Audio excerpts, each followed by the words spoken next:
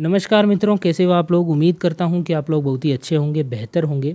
और दोस्तों, इस वीडियो के अंदर बात करेंगे राजस्थान के नौ जिलों के अंदर आज शाम व रात के लिए मौसम विभाग के द्वारा जो भयंकर बारिश और बिजली गिरने का अलर्ट जारी किया गया है, उसके बारे में और इस वीडियो के अंदर दोस्तों मैं आपको बताने की कोशिश करूँगा कि कहाँ कितने बजे बारिश होगी और बिल्कुल सबूत के साथ आपको बता दूँगा कि हाँ इस ज़िले के अंदर इतने बजे जो है वो बारिश होने की संभावना मौसम विभाग के द्वारा जताई गई है।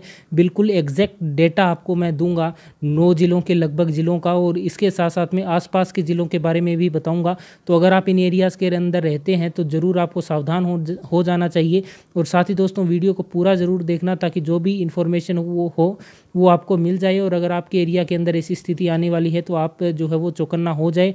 बारिश के साथ साथ में यहाँ पर बिजली गिरने का भी अलर्ट जारी किया गया है और अगर आप इस चैनल के ऊपर नए हैं तो ज़रूर चैनल को सब्सक्राइब कर लीजिए ताकि जो भी लेटेस्ट अपडेट आपके लिए लेकर के आता हूँ उसका नोटिफिकेशन आपको मिले वीडियो का और आप उस वीडियो को देख पाएँ जैसा कि अभी आप देख पा रहे होंगे ठीक है? तो अभी आप देखिए कि ये जो आ, रिकॉर्ड है, ये यहाँ पे जो है वो मौसम विभाग के द्वारा प्रोवाइड करवाया गया है अलवर ज़िले के लिए। और अलवर ज़िले के अंदर आप देख सकते हैं, शाम के लगभग तीन बजे से लेकर के और लगभग छः बजे तक बारिश का अलर्ट जारी किया गया है, जिसमें तीन बजे जो है सबसे ज़्यादा अलर्ट जारी किया गया है। यहाँ पर हालाँकि जो बिजली गिरने का अलर्ट है, वो जारी नहीं किया गया है। और अगर यहाँ पे बात करें तो 50 प्रतिशत जो है वो संभावना जताई गई है, जो कि काफ़ी ज़्यादा है।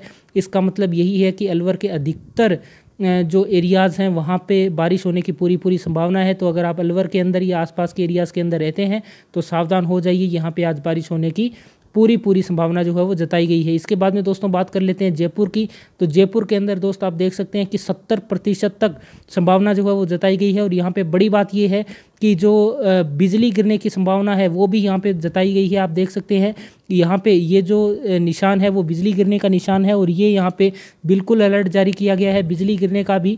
और जो बारिश है दोस्तों यहाँ पे अगर बात करें तो बारिश यहाँ पे जो है वो दो बजे से लेकर के और लगभग सात बजे तक बारिश का अलर्ट यहाँ पे जारी किया गया है। रात को भी हल्की फुल्की बारिश कुछ जगहों पर हो सकती है, हालाँकि बहुत ज़्यादा अलर्ट उस चीज़ का नहीं जारी किया गया है। तो अगर आप जयपुर या आसपास के एरिया के अंदर, मान लीजिए दोसा वगैरह के अंदर भी रहते हैं तो ज़रूर आप थोड़े सावधान ज़रूर हो जाइए, ठीक है?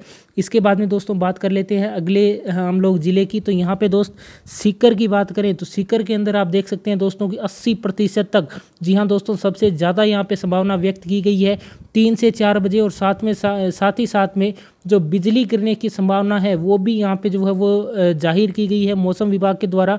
तो अगर आप सीकर के अंदर या आसपास के एरिया के अंदर रहते हैं तो ज़रूर सावधान हो जाइए। यहाँ पे जो है वो भयंकर बारिश की यहाँ पे चेतावनी दी गई है और लगभग पूरे सीकर के अंदर जो है वो बारिश और अच्छी बारिश की यहाँ पे अलर्ट जो है वो मौसम विभाग के द्वारा जारी किया गया है। तो अगर आप यहाँ पर रहते हैं तो सावधान हो जाइए क्योंकि यहाँ पे बिजली गिरने की भी संभावना जताई गई है और अगर कोई ऐसा सामान या ऐसी चीज़ है जो कि बारिश के अंदर ख़राब हो सकता है तो उसको भी आप यहाँ पे सुरक्षित कर सकते हैं इन एरियाज़ के अंदर। ठीक है, इसके बाद में बात कर लेते हैं दोस्तों हनुमानगढ़ के बारे में। तो हनुमानगढ़ की अगर बात करें तो हनुमानगढ़ के अंदर आप देख सकते हैं हालाँकि संभावना 20 प्रतिशत ही है, लेकिन यहाँ पे दोस्तों जो ध्यान देने वाली बात है, वो ये है कि ये संभावना रात को बारिश की जताई गई है। जी हाँ दोस्तों रात को लगभग 11 बजे से लेकर के और 2 बजे तक यहाँ पे बारिश का अलर्ट जो है वो जारी किया गया है हनुमानगढ़ के अंदर। तो अगर आप हनुमानगढ़ के अंदर रहते हैं तो यहाँ पे आपको जो है वो सावधान होने की ज़रूरत है। रात को बारिश हो सकती है, हालाँकि सभी इलाकों के अंदर नहीं, लेकिन हाँ बीस प्रतिशत तक ज़रूर जो है वो अलर्ट जारी किया गया है। ठीक है, इसके बाद में बात कर लेते हैं दोस्तों चूरू की। तो चूरू के अंदर आप देख सकते हैं, यहाँ पर जो है वो चालीस तक अलर्ट जो है वो जारी किया गया है। लगभग तीन बजे के करीब मौसम विभाग के द्वारा तो अगर आप चूरू के अंदर रहते रहते हैं या सीकर के अंदर रहते हैं तो आपको बहुत ही ज़्यादा सावधान होने की ज़रूरत है, क्योंकि यहाँ पर भी जो बिजली गिरने का अलर्ट है, वो जारी किया गया है। आप क्लियरली जो निशान है, वो देख सकते हैं। तो अगर आप यहाँ पर भी रहते हैं तो आपको सावधान यहाँ पर बिल्कुल रहना चाहिए। इसके बाद में बात करें झुंझुनू की तो झुंझुनू के अंदर भी करीब उसी तरह का मौसम अलर्ट है।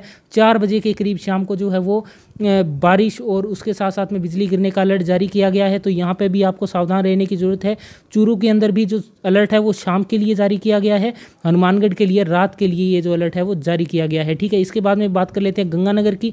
तो गंगानगर के अंदर बात करें दोस्तों तो रात को एक बजे, जी हाँ दोस्तों, एक बजे बिजली गिरने का भी अलर्ट है और साथ में बारिश होने का यहाँ पे अलर्ट जारी किया गया है। आप क्लियरली देख सकते हो, रात को यहाँ पे जो है वो बारिश हो सकती है। बिल्कुल मैंने आपको सबूत के साथ बता दिया है।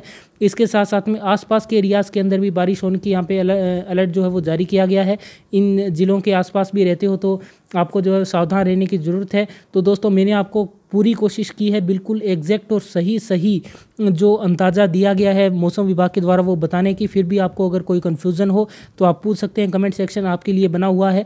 और फ़िलहाल वीडियो को पूरा देखने के लिए चैनल के साथ बने रहने के लिए आप सभी भाइयों का बहुत बहुत धन्यवाद।